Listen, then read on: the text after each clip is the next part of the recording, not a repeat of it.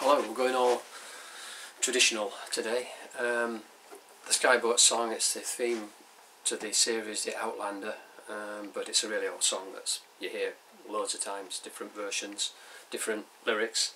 Um, it's very easy, but it's got an F chord in it. But it's good for beginners because they can practice this F chord, which is a chord you should try to master. And if you can play it in a bar shape, you've got the E shape, like an E, an E chord, and then move up one fret and then put your first finger across all six strings. And you've got the F chord. So, the Skye Boat song is uh, C, you've got a G, you've got the F, and for the chorus you've got that wonderful A minor, which is um, a major part of the song. So, start off in C. Song of a land that is gone.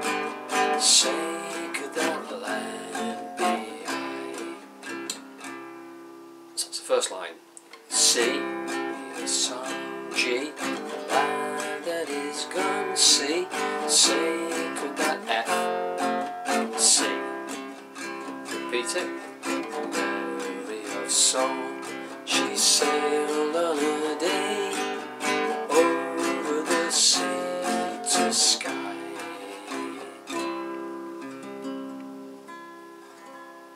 Then you go into that wonderful A minor chord. You've got that nice ring to it. It's the verse. Billow and breeze, islands and seas, mountains of rain and sun. So it's A minor, billow and breeze, G, islands and seas, F, mountains of G, A minor, A minor, all that was good, all that was fair, all that was me is gone. So that second line is A minor, all that was good, G,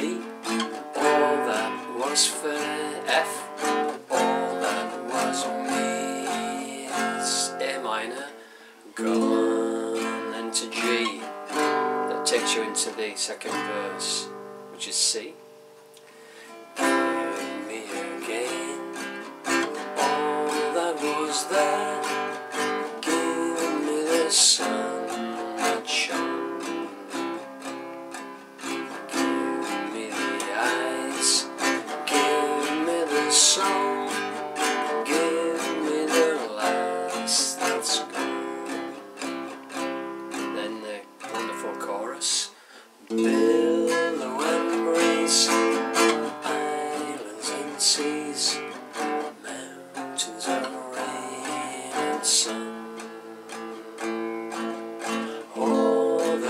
Was good, all that was fair, all that was me is gone. Back to the verse. Sing me a song, and so on.